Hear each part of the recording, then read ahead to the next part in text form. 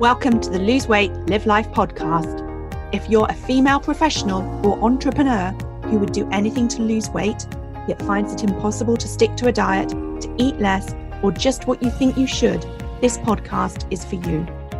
I am your host, certified life and weight coach Clair Mackenzie. Listen in to learn how to stop overeating, lose weight for the last time, and create a relationship with food and yourself that you love all without diet deprivation and self sabotage.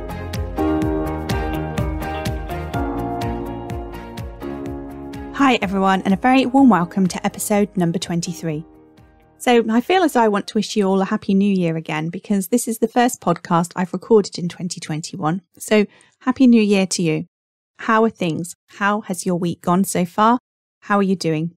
Give yourself a moment and pause and check in with yourself Say a kind word to yourself. Give yourself a hug if you need one. Okay, so this week, many of you have been getting on the scales. For some of you, it's the first time you've got on them in a while. Some of you like what the number says. Some of you are relieved. Others of you are maybe ashamed, frustrated, horrified, or even disgusted. Others of you are avoiding getting on the scales and telling yourself you'll get back on them next week after a few days of being good. Maybe you're thinking you don't want to see the damage you did over Christmas in black and white. But what does being good even mean? Isn't it crazy how this relatively small device has such an influence over us? I can remember all too clearly when I had days where the number would be lower than I anticipated and I would feel elated. And then those days when I didn't like what I saw. When the number didn't show a number that I thought reflected the amount of deprivation that I'd maybe felt over the previous week, and I would feel mad about it. Often it felt as though the whole trajectory for the day ahead would be set by the number I had seen when I got on the scales that morning.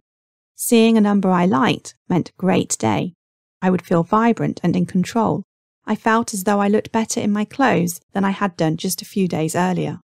I would have better conversations with people, get more work done, my energy, my vibe, my state for the day being a positive one because of the number on the scales.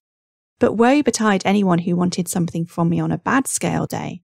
I would be downhearted, frustrated, my clothes would feel frumpy, and I felt, well, just probably grumpy.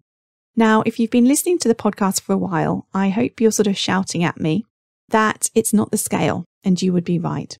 You don't feel the way that you do because of the number on the scale. You feel that way because of how you're thinking about you and the scale and your weight and your preconceived ideas about what is a good and what is a bad weight, and preconceived ideas about what you make it mean to be overweight. Essentially, my feelings have nothing to do with the number on the scales and everything to do with a whole load of cultural conditioning about being fat and what I in turn make it mean about me.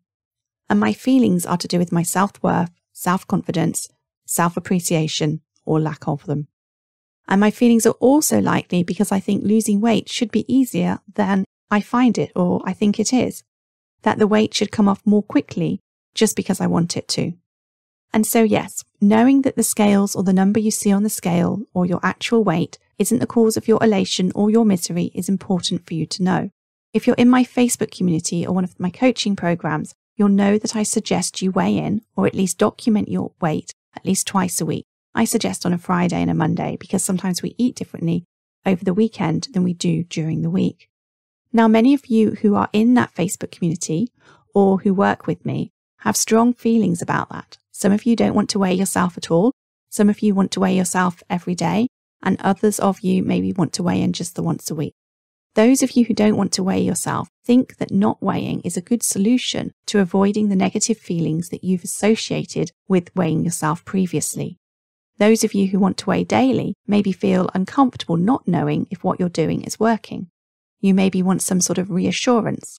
I'm guessing you like to feel in control. By the way, I can remember periods in my life where I have both wanted to weigh myself daily, consistently, and I've also had periods where I've not wanted to weigh myself at all and haven't weighed myself at all for many months.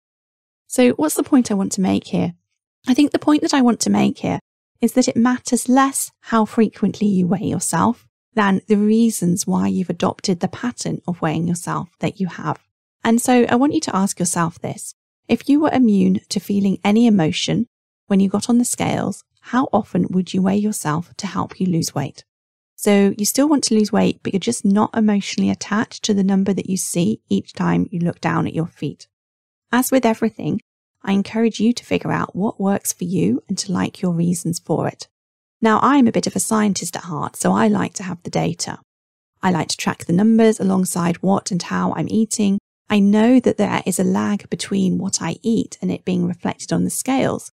And I know that that lag tends to be greater when I'm losing weight than it is when I'm gaining it. My suggestion is to weigh yourself often. For me, that would be daily to have the data, but not to react to that number. Use the data as a part of an informed process and make changes no more than once a fortnight. Okay, so let me elaborate a little on why I like this approach. And remember, these are my thoughts. If they work for you, great. If they don't, decide what thoughts work better for you and create an approach you like from them. So, three reasons I like the idea of weighing daily. The first one is that it allows you to see how much your body weight fluctuates. Now, we all have different bodies. Some of you will have a body that retains vastly different amounts of water based on the foods you eat. Others of you will have significant fluctuations in weight based on your monthly cycle. Some of you may take medication intermittently that impacts your weight. I want you to become an expert on you. I want you to learn how eating different foods impacts the number on the scales. I want you to see and get comfortable with how your body operates whether you experience very little change or those widely varying fluctuations. The second reason is that weighing daily allows you to manage your mind. When you decide to weigh yourself daily for the purpose of increasing your awareness of your mind, you have a unique opportunity to understand more about yourself. You get an opportunity to notice how your feelings shift when you see that number. You get an opportunity to ask yourself, what's going on for you? What are you thinking? that creates that feeling. For example, you may think you're feeling frustrated because the number on the scale hasn't changed, but you're not. In between that number not changing and you feeling frustrated, there's a thought, something that you're thinking that is causing the frustration. You want to find that thought. You want to understand what you're making the number not changing and remaining the same mean.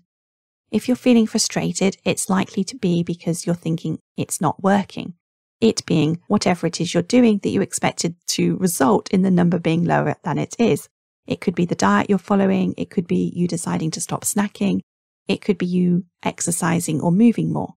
And so feeling that frustration, questioning why you're feeling it, and I mean finding the underlying thoughts, is an opportunity for you to explore your thinking and then dig into that because it won't just be distracting you from using scale data to help your weight loss efforts the thoughts that come up for you when you get on the scales will be hindering your weight loss in other areas too.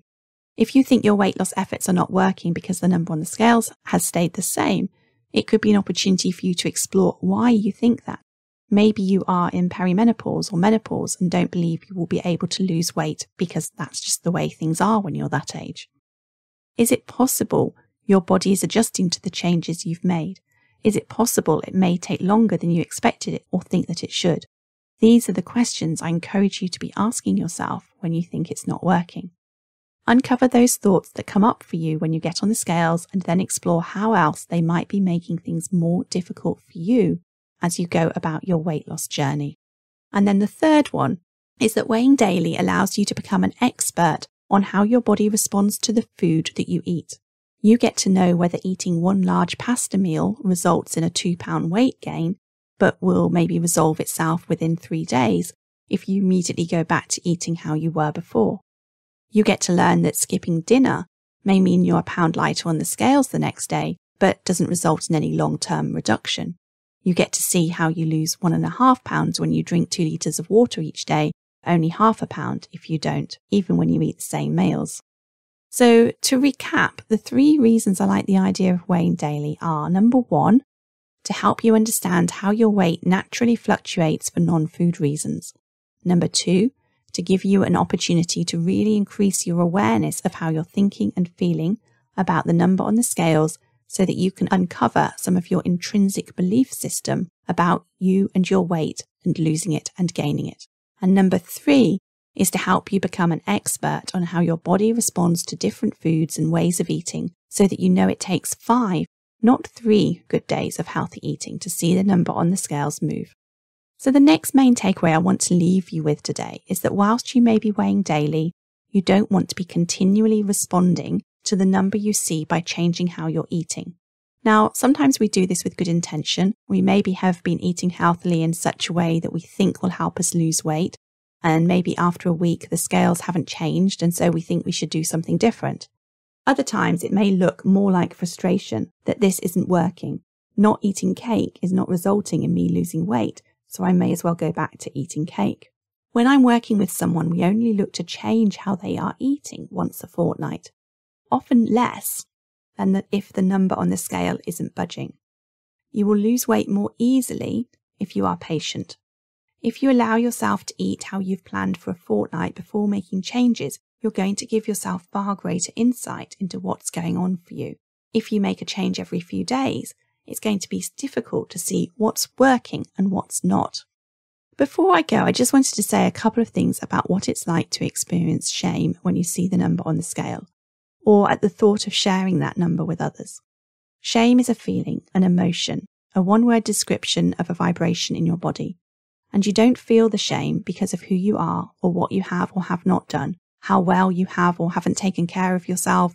You don't feel it because of the foods you like and eat, how you use food as a coping mechanism for life. There are many reasons we will feel shame, but ultimately we feel it when we think we should be different to how we are or have done things differently to how we've done them. We feel shame when we judge ourselves. And I want to offer to you that you're human. You are a perfect human. Humans are designed to be imperfect. And you, with all your imperfections, are therefore a perfect human. So your thoughts about how you should be better or different are untrue. There is no right or better way for you to be. You just are. So whether you feel shame when you stand on the scale, wake up after a few too many drinks, or notice that you ate the whole packet of biscuits again, just remember that you're feeling that shame because of thoughts, those sentences running through your mind, not because of what you weigh or what you ate or what you did.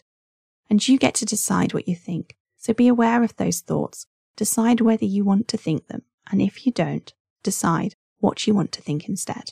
And then practice thinking that new thought until it shifts how you're feeling and you can release the shame.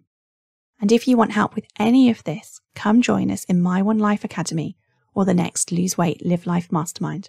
When I'm recording this podcast, there's still a space left on the January 2021 class. So reach out if that's something you're interested in. Thanks, everybody. If you enjoyed listening to this podcast and are ready to live a more intentional life, lose weight as a part of that journey, and create a relationship with food and yourself that you love, then I would be honoured to be your coach.